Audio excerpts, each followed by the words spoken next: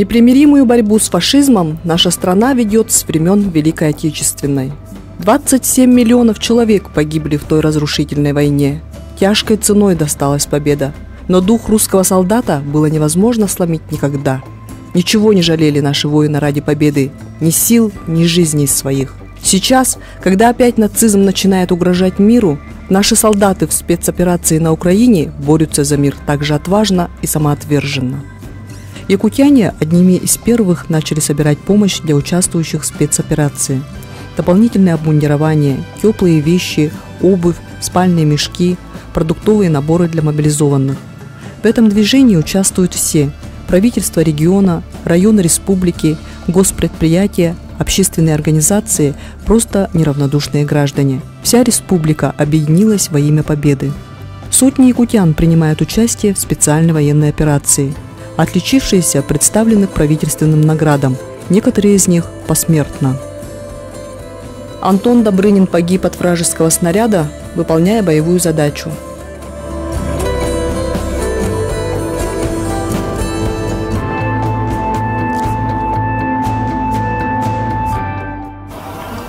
Антон, как? Ну, обычно. Школу закончил, то в армию пошел служить. Тоже служил в МВД войсках, с армии пришел. Дома работал, как обычно.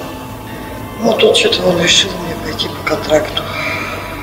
Как мы его не отговаривали, так и не получилось бесполезно.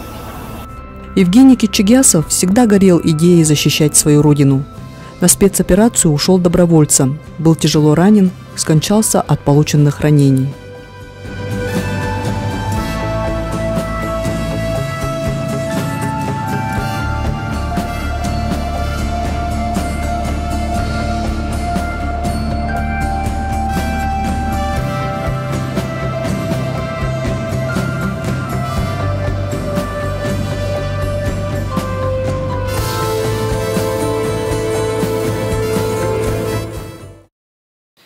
Сегодня мы реально не на словах воюем с фашизмом. Это специальная военная операция.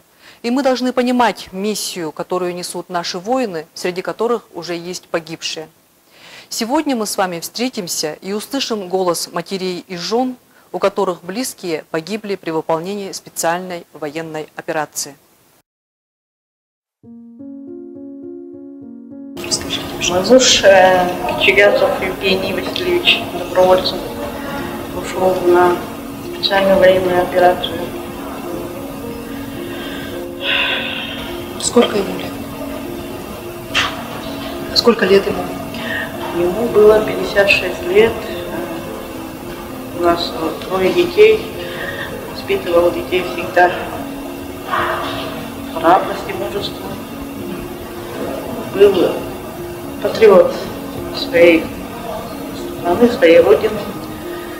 Даже когда служил в рядах советской армии, там тоже рвался на афганскую войну, в Афганистан, служил и ну, хотел поехать туда, но его не взяли.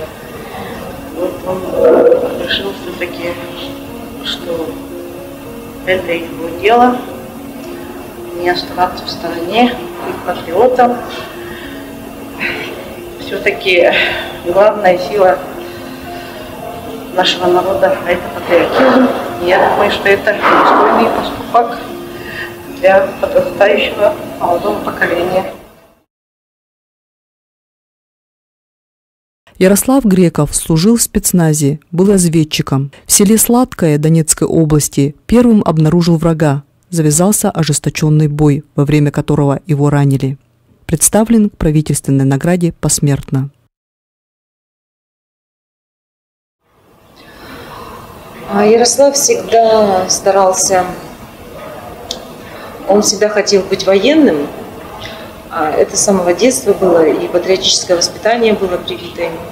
После окончания колледжа он сам пошел, подал значит, документы в военкомат, и его отправили служить в Хабаровск войска ВДВ. После окончания армии а он вернулся, три года жил в Якутске, но все равно значит, вот это его желание пересилило. Вот, подписал контракт, опять-таки Хабаровск на воинскую службу. И с 17 года он находился на воинской службе в Хабаровске. В отряде спецназа, это 14-я бригада специального назначения. Как случилось, как он погиб? С марта месяца он принимал участие в специальной военной операции. И вот март, апрель, май, июнь, июль он воевал, август. А он редко выходил на связь, потому что это было, этого было делать нельзя, он разведчик.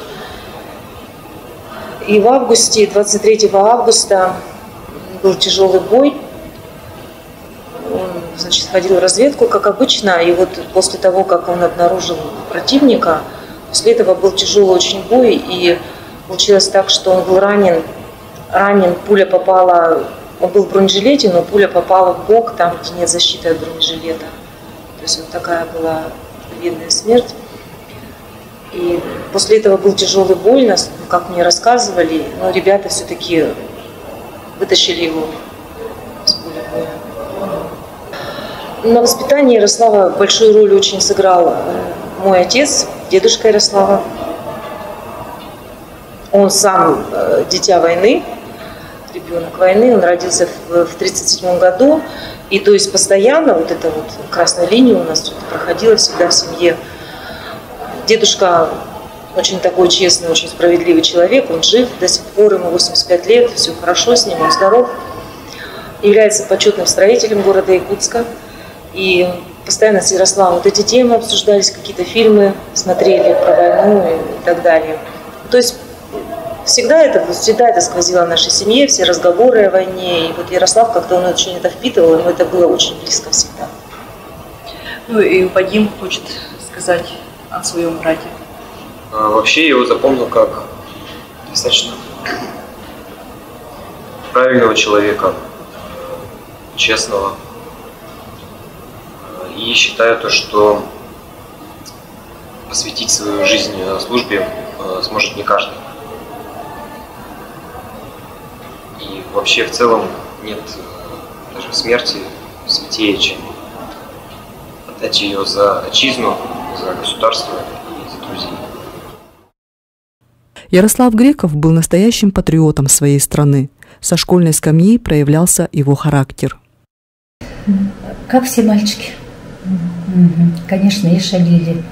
Бывало, что и где-то не вовремя приходили на уроки, опаздывали. Все как обычный ребенок. Говорят, он не пользовался авторитетом среди мальчиков. Да, потому что, я же говорю, у него стержень, да, был. Потом он, знаете, мальчик э, внешне очень красивый, крепкий, физически крепкий, да, был. И после девятого класса вот он ушел, он заранее уже знал, целеустремленный я имею в виду, да, он знал, куда ему идти поступать. Он пошел в одиннадцатое. Без всякого сожаления, то есть у него была уже цель. Я думаю, что здесь вот взаимовыручка, возможно, вот любовь к своему ближнему. И поэтому, мне кажется, вот эта вот любовь, это вот я не могу точно вот выразить, как. Любовь, она есть ко всему любовь. И вот чувство ответственности, я думаю, все-таки. Вот он ответственен в семье за что-то, да? И точно так же он ответственность принимает на себя вот за родину. Ярослав, учась в школе, всегда был жизнерадостным, любил спорт и подвижные игры. При близком общении он уже был такой, всегда вежливый был, джентльмен, вот, обходительный. Вот. Шутки у него не заканчивались. Он такой же шутник был в школе. Как бы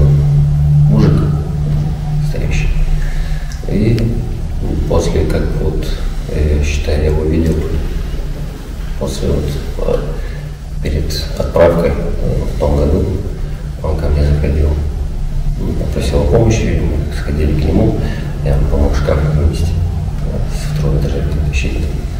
Ну и как бы посидели, чай попили, разговаривали. Когда еще собирались встретиться классом, ну, он говорил, типа, надо встретиться. Все нас пытался постоянно собрать всех, каждый год практически. У Ярослава осталась дочь. Он был прекрасным отцом, в отпуск всегда приезжал домой в Якутию, чтобы помочь родным.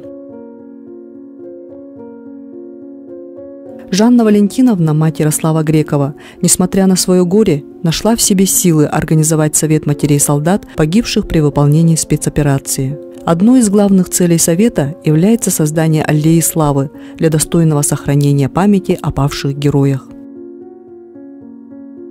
Ну, вот мы, как матери э, детей, погибших на специальной военной операции, решили объединиться, создать Совет матерей э, для того, чтобы увековечить память наших детей, наших мужей и для того, чтобы оказывать э, всевозможную поддержку, психологическую, юридическую помощь, моральную помощь матерям и женам, которые потеряли своих близких.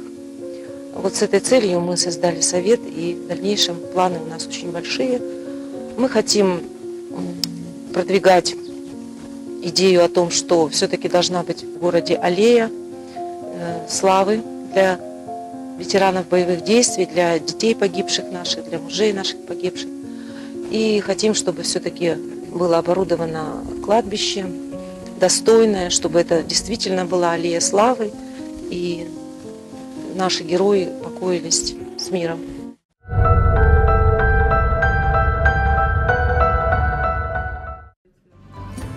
Ярослав Греков учился в школе номер 16 города Якутска имени Сергея Черных, в которой большое внимание уделяют военному делу. В школе не один год ведет свою деятельность военно-патриотический клуб, который воспитал многих защитников Родины. Во время уроков, когда в старших классах а, затрагиваешь тему, а, относятся с пониманием, знают, что происходит, из-за чего это происходит, кто причина они осознают, они понимают. Все, они понимают, они идут, девчонки идут, много девочек. Но на каждую перемену, в каждую перемену прибегают. Все, Алексей Николаевич, дайте оружие, поработать с оружием. Дайте все. Приходят выпускники после э, прохождения службы. Ну что, ребят, как служат? Да, да вообще, говорит, отдыхали. Все, всем владеют, все умеют. Э, практически все возвращаются со званием. Мы все понимаем, враг перед нами жестокий, и необходимо быть готовыми дать достойный отпор. Наше общество сегодня объединяется для защиты своей Родины. Единство – это путь к победе –